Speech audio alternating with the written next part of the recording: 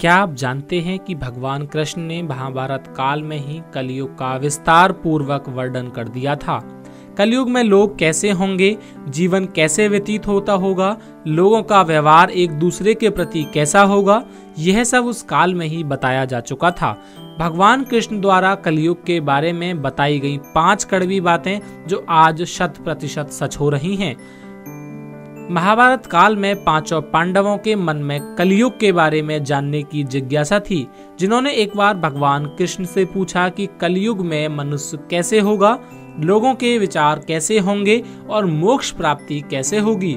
यह प्रश्न सुनकर भगवान कृष्ण ने पाँचों पांडवों को वन में जाने के लिए कहा और यह भी कहा कि जो कुछ भी तुम वहाँ देखो, मुझे विस्तार से आकर बताना। पाँचों भाई वन में जाकर वापस आए और भगवान कृष्ण को क्या बताते हैं? चलिए जानते हैं।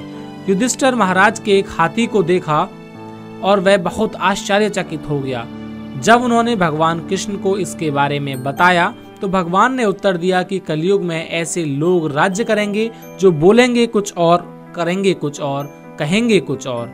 यह लोग दोनों ओर से शोषण करेंगे भीम ने देखा कि ये गाय को जो अपने बच्चे को इतना चाट रही थी कि बच्चे का रक्त निकल आया, भीम यह देख दंग रह गया और भगवान कृष्ण से आकर इसका अर्थ पूछने लगा कि, हे कृष्ण, बताइए कि कलयुग का मनुष्य अपने बच्चों से ऐसा प्यार करेगा कि ऐसी ममता के कारण बच्चे का विकास ही रुक जाएगा?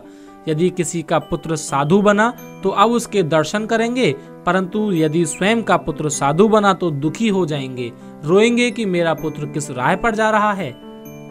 इसका क्या होगा कलयुग में? लोग बच्चों को मोहमाया और परिवार में ही बाँध कर रखेंगे।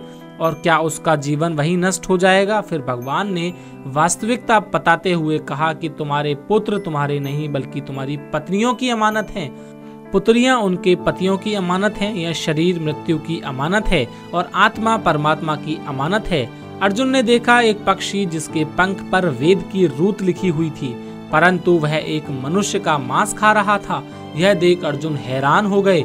इस पर भगवान ने बताया कि कलयुग में ऐसे लोग होंगे जिन्हें विद्वान कहा जाएगा। किंतु उनकी मंशा यही होगी कि किसकी जल्दी मृत्यु हो और उसकी संपत्ति को अपना बना लिया जाए। व्यक्ति चाहे कितना भी बड़ा होगा, परंतु उसकी दृष्टि दूसरे की संपत्ति पर होगी। ऐसे लोग बहुत होंगे जो दूसरों के धन को छीनने को आतुर हो जाएँगे। वास्तविक संत तो कोई कोई ही होगा। नकुल ने देखा कि भारी चट्टान पर्वत से गिरी और बड़े से बड़े वृक्ष भी उसे नहीं रोक पाए, परंतु एक छोटे से पौधे से टकराकर वह चट्टान वहीं रुक गई।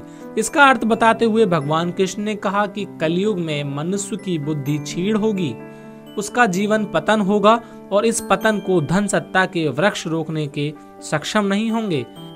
किंतु हरि नाम लेने से मनुष्य का जीवन पतित होने से रुक जाएगा। कीर्तन से मनुष्य की बुद्धि प्रबल होगी। सहदेव ने वहाँ अनेकों कुएँ देखे, जिनमें से केवल बीच का कुआँ खाली था, जो कि सबसे गहरा था।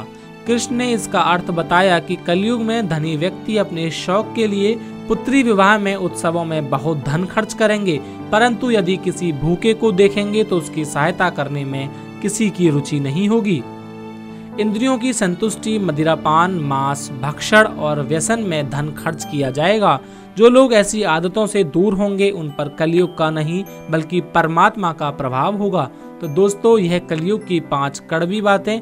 तो दोस्तों, यह कलयुग की पाँच कड़वी बातें जो भगवान कृष्ण के द्वारा बताई गई थी और आज वो सच हो रही हैं। नेक्स्ट नाइन स्पिरिचुअल से आकाश की रिपोर्ट।